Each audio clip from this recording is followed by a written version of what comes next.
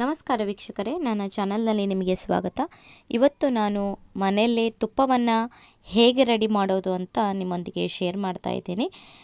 ನೀವು ಈಗಾಗಲೇ ನನ್ನ ಚಾನಲನ್ನು ಸಬ್ಸ್ಕ್ರೈಬ್ ಮಾಡದೇ ಇದ್ದಲ್ಲಿ, ನನ್ನ ಚಾನಲನ್ನು ಸಬ್ಸ್ಕ್ರೈಬ್ ಮಾಡಿ, ಈ ವಿಡಿಯೋ ಲೈಕ್ ಆದರೆ ಒಂದು ಲೈಕನ್ನು ಒತ್ತಿ ಹಾಗೂ ಈ ವಿಡಿಯೋನ ನಿಮ್ಮ ಫ್ಯಾಮಿಲಿ ಫ್ರೆಂಡ್ಸ್ಗಳ ಜೊತೆ ಶೇರ್ ಮಾಡಿ.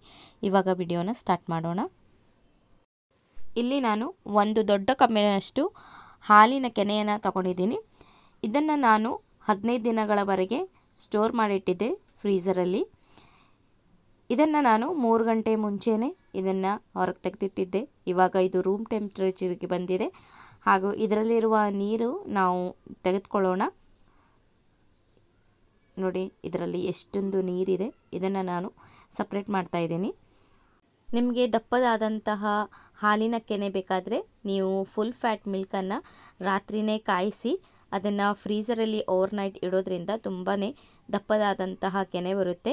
ಈ ಕೆನೆಯನ್ನು ನಾನು ಹದಿನೈದು ದಿನಗಳವರೆಗೆ ಸ್ಟೋರ್ ಮಾಡ್ತಾ ಬಂದಿದ್ದೀನಿ ಫ್ರೀಸರಲ್ಲಿ ಇವಾಗ ನಾವು ಕಲೆಕ್ಟ್ ಮಾಡಿರುವಂತಹ ಎಲ್ಲ ಕೆನೆಯನ್ನು ಒಂದು ಪಾತ್ರೆಗೆ ಹಾಕೋಣ. ಹಾಗೂ ಇದನ್ನು ಚೆನ್ನಾಗಿ ಬೇಯಿಸ್ಕೊಳ್ಳೋಣ. ನೋಡಿ, ನಾನು ಪಾತ್ರೆಯಲ್ಲಿ ಹಾಕಿದ್ದೀನಿ. ಇದನ್ನು ನೀವು ಮೊದಲು ಮೀಡಿಯಮ್ ಫ್ಲೇಮಲ್ಲಿ ಕುಕ್ ಮಾಡ್ತಾ ಬನ್ನಿ. ನಂತರ ಇದೇನಾಗುತ್ತೆ? ಎಲ್ಲ ಕರಗಿದ ನಂತರ ಇದು ಹಾಲು ಹೇಗೆ ಉಕ್ಕುತ್ತೆ? ಹಾಗೆ ಉಕ್ಕಲಿಕ್ಕೆ ಸ್ಟಾರ್ಟ್ ಆಗುತ್ತೆ. ಆವಾಗ ನೀವು ಫ್ಲೇಮನ್ನು ಲೋ ಮಾಡಿಕೊಳ್ಳಿ. ಹಾಗೂ ಇದನ್ನು ಸ್ಪೂನಿಂದ ಕೈಯಾಡಿಸ್ತಾ ಇರಿ. ಈ ರೀತಿ ಮಾಡೋದ್ರಿಂದ ಇದು ಬೇಗನೆ ತಳ ಹಿಡಿಯೋದಿಲ್ಲ. ಒಂದು ವೇಳೆ ನೀವು ಹಾಗೆ ಬಿಟ್ಟರೆ ಇದು ಬೇಗನೆ ತಳ ಹಿಡಿಯುತ್ತೆ. ಹಾಗೂ ಅದು ತೆಗಿಲಿಕ್ಕೂ ಕೂಡ ತುಂಬಾ ಕಷ್ಟ ಆಗುತ್ತೆ. ಅದಕ್ಕೋಸ್ಕರ ಇದನ್ನು ನೀವು ತಿರುಗಿಸ್ತಾ ಇರಿ. ನೋಡಿ ಇದು ಹೇಗೆ ರೆಡಿ ಆಗ್ತಾ ಬಂದಿದೆ ಇವಾಗ. ನಿಮಗೆ ಈ ಸ್ಟೇಜಲ್ಲಿ ಒಂದು ಹತ್ತರಿಂದ ಹದಿನೈದು ನಿಮಿಷ ಬೇಕಾಗುತ್ತೆ. ನೋಡಿ ಇದರಲ್ಲಿ ಹೇಗೆ ಗುಳ್ಳೆಗಳು ಬರ್ತಾ ಇದೆ ಅಂದರೆ ಇದು ಬೇಯ್ತಾ ಇದೆ. ಇವಾಗ ಇದರಲ್ಲಿ ಇರುವಂತಹ ಆಯಿಲ್ ಏನಾಗುತ್ತೆ ಸಪ್ರೇಟ್ ಆಗ್ತಾ ಬರುತ್ತೆ. ನೀವು ಕಲೆಕ್ಟ್ ಮಾಡಿದಂತಹ ಎಲ್ಲ ಹಾಲಿನ ಕೆನೆಯನ್ನು ಫ್ರೀಝರಲ್ಲೇ ಇಡಿ. ಅದು ಹದಿನೈದರಿಂದ ಇಪ್ಪತ್ತು ದಿನಗಳವರೆಗೂ ಏನೂ ಆಗೋದಿಲ್ಲ. ಒಂದು ವೇಳೆ ನೀವು ಫ್ರಿಜ್ನಲ್ಲಿ ಇಟ್ಟರೆ ಕೆಳಗಡೆ ಅದೇನಾಗುತ್ತೆ ಅಂದರೆ ಅದರಲ್ಲಿ ಮೂರ್ನಾಲ್ಕು ದಿನಗಳ ನಂತರ ಒಂದು ಕೆಟ್ಟ ವಾಸನೆ ಬರಲಿಕ್ಕೆ ಸ್ಟಾರ್ಟ್ ಆಗುತ್ತೆ. ಹಾಗೂ ಇದು ಬೇಗನೆ ಹಾಳಾಗಲಿಕ್ಕೆ ಸ್ಟಾರ್ಟ್ ಆಗುತ್ತೆ. ಅದರಿಂದ ನೀವು ಕಲೆಕ್ಟ್ ಮಾಡಿದಂತಹ ಎಲ್ಲ ಹಾಲಿನ ಕೆನೆಯನ್ನು ಒಂದು ಡಬ್ಬದಲ್ಲಿ ಹಾಕಿ ಫ್ರೀಸರಲ್ಲೇ ಇಡಿ.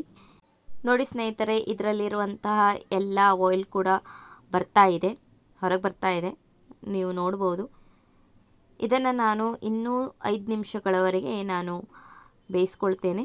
ನೋಡಿ, ಇದು ಹಾಲಿನ ಕೆನೆ ಬಿಳಿ ಬಿಳಿಯಾಗೇ ಇದೆ. ಇದು ಗೋಲ್ಡನ್ ಕಲರ್ ಬರುವವರೆಗೂ ನೀವು ಬೇಯಿಸ್ಕೊಳ್ಳಿ. ಯಾಕಂದರೆ ಇದರಲ್ಲಿರುವಂತಹ ಎಲ್ಲ ಎಣ್ಣೆ ಕೂಡ ಹೊರಗೆ ಬರಬೇಕು. ಅಷ್ಟು ನೀವು ಬೇಯಿಸ್ಕೊಳ್ಬೇಕಾಗತ್ತೆ. ಇವಾಗ ನೀವು ನೋಡ್ಬೋದು ಹೇಗೆ ಇದರಲ್ಲಿ ನೊರೆ ಬರ್ತಾ ಇದೆ.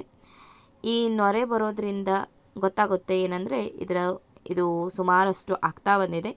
ಇನ್ನೂ ಒಂದು ಎರಡು ನಿಮಿಷಗಳವರೆಗೆ ನಾವು ಇದನ್ನು ಬೇಯಿಸ್ಕೊಳ್ಳೋಣ. ಇದರಿಂದ ಏನಾಗತ್ತಂದರೆ ಅದು ಗೋಲ್ಡನ್ ಕಲರ್ ಬರುತ್ತೆ ಹಾಲಿನ ಕೆನೆ. ಆವಾಗ ನಾವು ಗ್ಯಾಸನ್ನು ಆಫ್ ಮಾಡ್ಬೋದು. ಹಾಗೂ ಇದನ್ನು ತಣ್ಣಗಾಗಲಿಕ್ಕೆ ಇಡಿ. ತಣ್ಣಗಾದ ನಂತರ ಇದನ್ನು ಸೋಸ್ಕೊಳ್ಳಿ. ಹಾಗೂ ಇದನ್ನು ಒಂದು ಗಾಜಿನ ಬಾಟಲಲ್ಲಿ ಅಥವಾ ಸ್ಟೀಲಿನ ಡಬ್ಬದಲ್ಲಿ ಹಾಕಿ ಸ್ಟೋರ್ ಮಾಡ್ಬೋದು. ಸ್ನೇಹಿತರೆ, ನೋಡಿದ್ರಲ್ಲ, ಹೇಗೆ ಈಸಿಯಾಗಿ ಮನೆಯಲ್ಲಿ ತುಪ್ಪವನ್ನು ಮಾಡ್ಬೋದು ಪ್ಯಾಕೆಟ್ ಹಾಲಿನ ಅಂತ. ಸ್ನೇಹಿತರೆ, ಈ ವಿಡಿಯೋ ನಿಮಗೆ ಇಷ್ಟ ಆಗಿದೆ ಅಂತ ಅನ್ಕೋತೀನಿ. ಇಷ್ಟ ಆದರೆ ಒಂದು ಲೈಕನ್ನು ಒತ್ತಿ ಈ ವಿಡಿಯೋನ ನಿಮ್ಮ ಫ್ಯಾಮಿಲಿ ಫ್ರೆಂಡ್ಸ್ಗಳ ಜೊತೆ ವಾಟ್ಸಪ್ಪಲ್ಲಿ ಫೇಸ್ಬುಕ್ಕಲ್ಲಿ ಶೇರ್ ಮಾಡಿ ಹಾಗೂ ನನ್ನ ಚಾನಲನ್ನು ಸಬ್ಸ್ಕ್ರೈಬ್ ಮಾಡಿ.